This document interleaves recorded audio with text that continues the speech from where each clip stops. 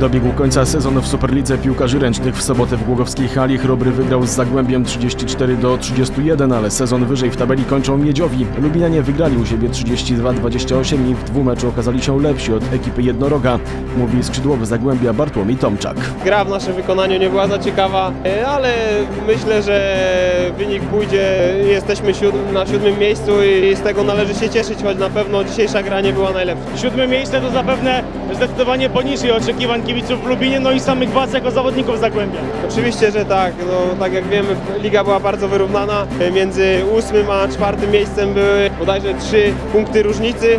No, ułożyło się tak, że jesteśmy na siódmym miejscu. Bardzo żałujemy z tego powodu. No, co już teraz możemy zrobić po fakcie? Nic. No, zajęliśmy siódme miejsce i trzeba to przyjąć po prostu. Mecz dobrze ułożył się dla miejscowych, którzy odskoczyli na 5-2, jednak już po kwadransie było 9 do 9. W 44 minucie po bramce Świtały 27-22 prowadzili gospodarze i to SPR w tym momencie był wyżej w tabeli Superligi. W końcówce jednak częściej karami dwuminutowymi karani byli Głogowianie i nie zdołali dowieść do końca satysfakcjonującego wyniku. Wygrali, ale za mało, aby cieszyć się z wyższej lokaty w lidze, mówi Maciej Ścigaj z Chrobrego.